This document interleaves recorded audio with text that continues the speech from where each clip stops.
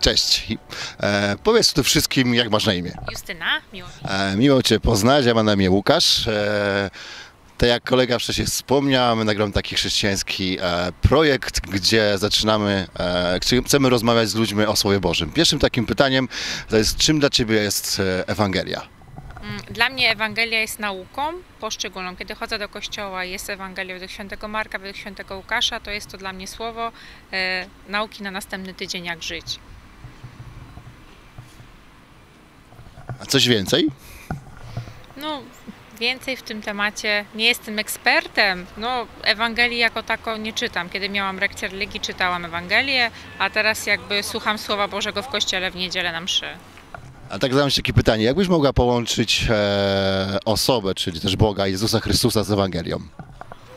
E, No wiesz co, tak naprawdę on się przeplata w tych wszystkich Ewangeliach, tak? Dlatego jakby on jest głównym bohaterem, pomimo tego, że one pisane są przez inne osoby, także podejrzewam, że jest, y, to nie, jest on nieodłącznym elementem każdej z Ewangelii.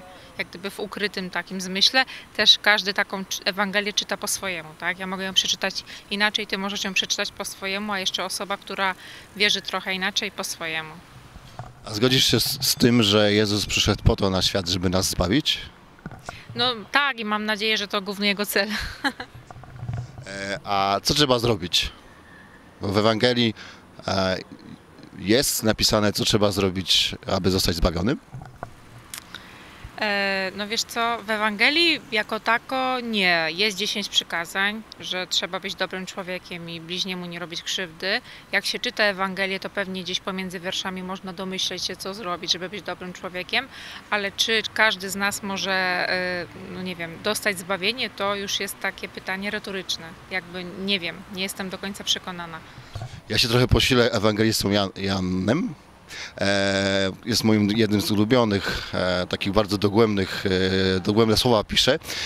W trzecim rozdziale pisze coś takiego, że kto uwierzy w Jezusa Chrystusa, ten nie zginie, a będzie zbawiony. No, może być jest jakaś szansa w tym, ale też trzeba pamiętać w to, że, o tym, że pamiętajmy też o tym, że osoby, które są wierzące i chodzą do kościoła, niekoniecznie zawsze robią wszystko dobrze, tak? Także o tym też pamiętajmy. A są osoby, które nie do końca wierzą i wydaje mi się, że są dobrymi ludźmi, także o tym też powinniśmy pamiętać. Na pewno jest tak, że te osoby, które wierzą w Pana Boga i w Jezusa Chrystusa, one powinny być zbawione. No plus powinny być dobrymi ludźmi na co dzień. Bo tak jakoś spotykamy się z ludźmi i też mamy takie doświadczenie, że niektórzy myślą, że zbawienie z uczynków, że trzeba być dobrym człowiekiem, trzeba zasłużyć, chodzić do kościoła i tak dalej, a inni myślą, że właśnie wystarczy wiara. A jaki jest Twój pogląd w tej sprawie? Mi się wydaje, że potrzebna jest wiara plus praktyka. Yy, tak, wiara plus praktyka. Na pewno nie taka wiara typu, że yy, modlę się rano i wieczorem, chodzę do kościoła w niedzielę i tutaj nie obgaduję sąsiadów, ale też staram się być dobrym człowiekiem, plus nie robię temu bliźniemu krzywdy. Ale też jestem chyba trochę tolerancyjny dla innych religii i dla innych poglądów. Też nie powinniśmy mieć nic przeciwko, bo świat jest jaki jest. E, moim zdaniem, tak powiedzieć sobie, jak ja, jak ja e, widzę Ewangelię. Ewangelia jest jakby to, że na pierwszym miejscu mam Jezusa Chrystusa. Wszystko inne jest na... E, nie ma tego dla mnie. E, jeśli ktoś jest przeciwny Jezu- Jezusowi Chrystusowi, jak inna religia, no to nie może być też e, religią, no bo Jezus Chrystus jest jedynym Bogiem e, i On mówi nam, co mamy zrobić, żeby zostać zbawionym.